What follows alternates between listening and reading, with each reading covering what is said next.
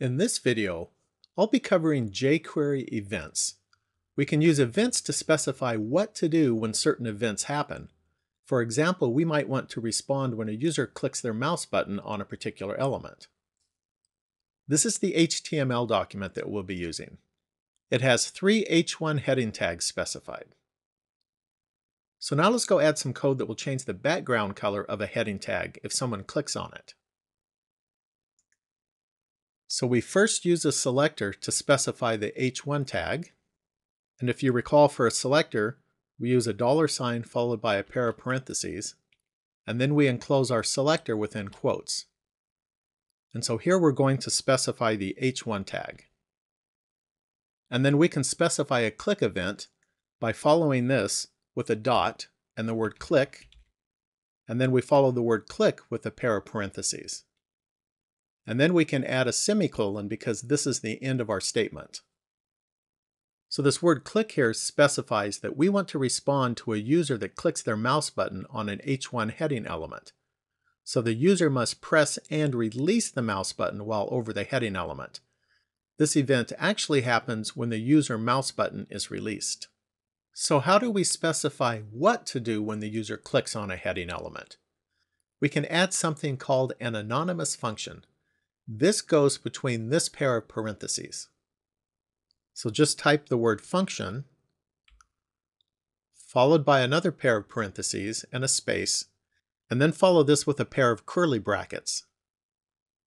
And everything that we want to happen when the user clicks on a heading element goes between these two curly brackets. So put your cursor right here between these two brackets and press the Enter key a couple of times to make yourself some room to work. So now any code that I put in this area right here will be run whenever a user clicks on an H1 heading element. So I'm just going to paste some code in here right now. So this code that I added right here will change the background color of the H1 element that is clicked. But don't pay too much attention to this section right here for now, because we'll be covering this in a later video. And notice here that the selector that we're using is the word this. And if you recall, the keyword this is not surrounded with quotation marks because it's a keyword instead of a string. And the word this refers to the element that brought us here. So if the user clicks on the second heading element, for example, then the keyword this refers to the second heading element. So let's give this a try.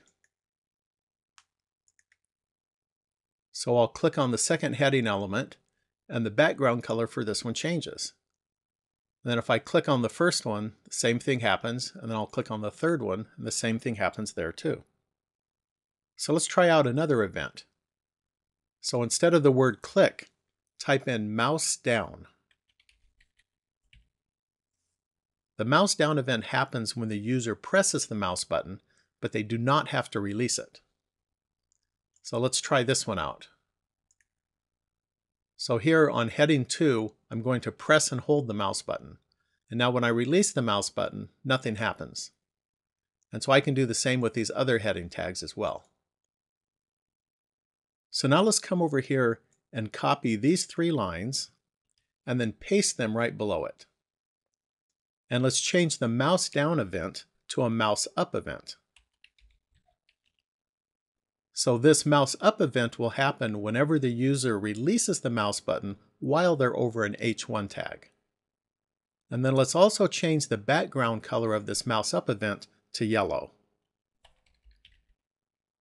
So now when the user presses down the mouse button, the background color will change to red, and when the user releases the mouse button, the background color will change to yellow.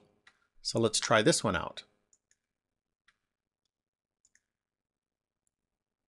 So I'll press and hold the mouse button on this bottom heading, and it turns to red. And now I'll release the mouse button, and it turns to yellow. And I can do the same thing on these other two. And now let's change this mouse down event to mouse enter. And we'll change the mouse up event to mouse leave. The mouse enter event will happen whenever the mouse pointer is moved over the H1 tag. And the mouse leave event will happen whenever the user moves the mouse away from this tag. So let's try this out. So now if I move my mouse over this heading 1 tag, it'll turn to red, and then when I move my mouse off of it, it turns to yellow. And if I just move my mouse down, the same thing will happen to these other two. So let's say now that we've added an event like mouse leave to the H1 element, but then we later want to remove it. We can do this by using a method called unbind. And so I'll show you how this works. Let's add another line of code right here. And we're going to specify a selector.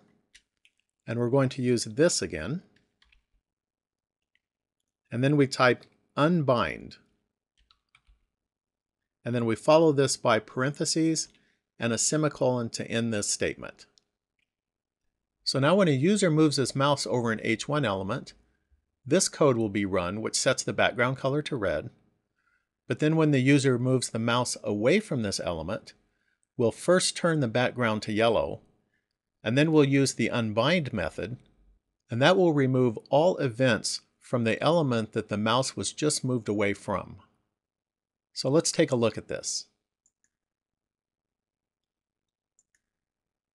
So here if I move my mouse onto this first heading, the background will change to red, and then when I move it off, the background will change to yellow, but it's also removed all of the events for this first heading tag. So if I move my mouse back over this again, nothing happens. And so I can do the same with heading 2 and heading 3. And so now that I've removed my mouse off of all three of these, the events for all of the heading tags have been removed. And now nothing happens when I move my mouse over the top of these.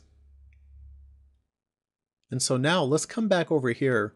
Let's change this selector to the asterisk so that we can select everything.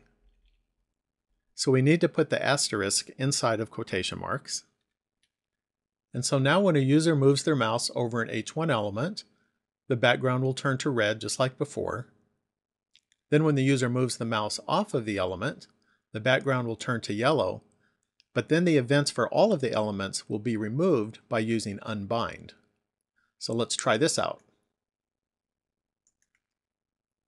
So I'll move my mouse over the first heading, it turns to red. Then I move my mouse off of it, and it changes to yellow background. But now when I move my mouse over these other elements, nothing happens because I've removed all of the events. So now let's say that I still want to remove events from all of the elements, but I only want to remove the mouse leave events.